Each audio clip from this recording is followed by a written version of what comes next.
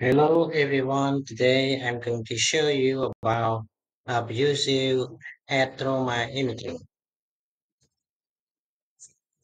Definition Traumatic injury inflicted on infant and children by adults it is abusive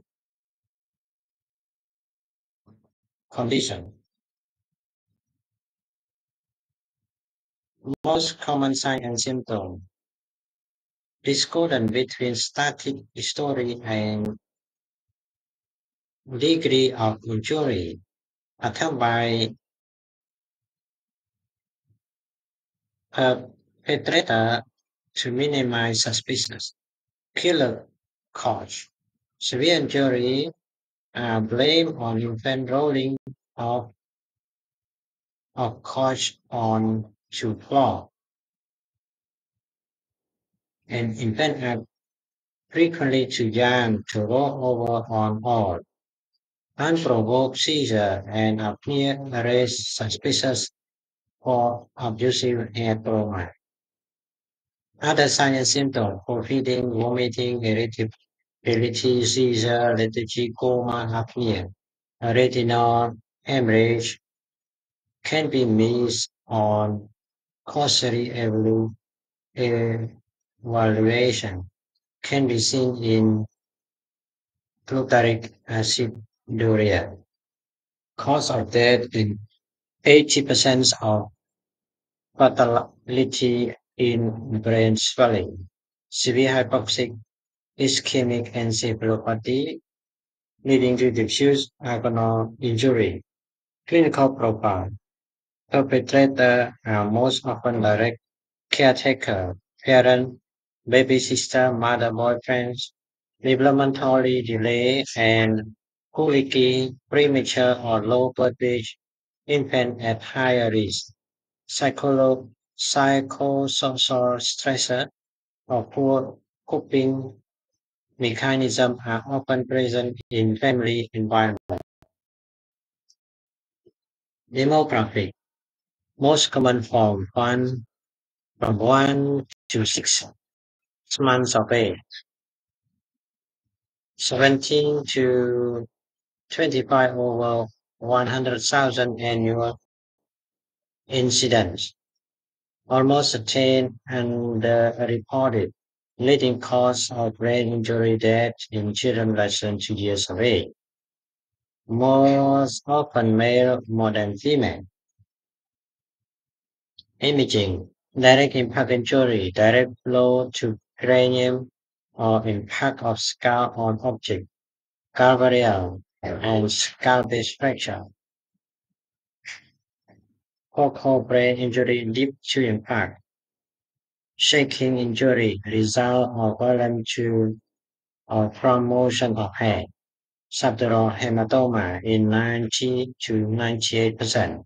Generalized parenchymal injury, cytotoxic edema, laceration of axonal injury, bridging vein injury, and thrombosis are common. Non-contrast enhanced CT is a primary imaging tool in initial evaluation of abusive head trauma. Multiple plan uh, reconstruction improve detection of small intracranial hemorrhage. Fracture fracture detects is key component in forensic evaluation of suspicious non-action trauma. UMR is best for detecting full extent of injury. DWI is paramount for parenchymal injury.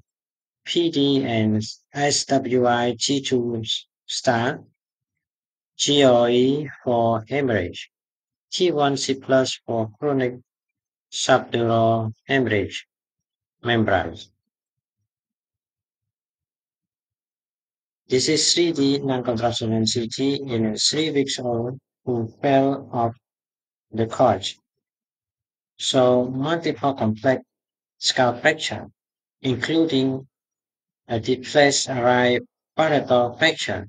3D rendering are uh, helpful in improving the detection and characteristic of scar fracture. Non-contrast enhanced CT in the same patient show a right subdural hematoma and a right orbicular parenchymal laceration with significant midline shift and sulcal effacement.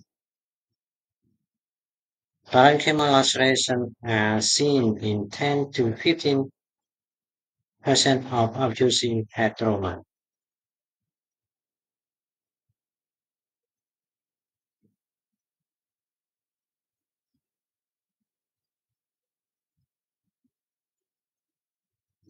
Non-contrast enhanced CT in a two-month-old patient with abusive head trauma, so subdural hemorrhage over the left frontal lobe and along the falx. Note the extensive left cerebral decrease attenuation with loss of gray-white matter differentiation and significant left to right midline shift. Left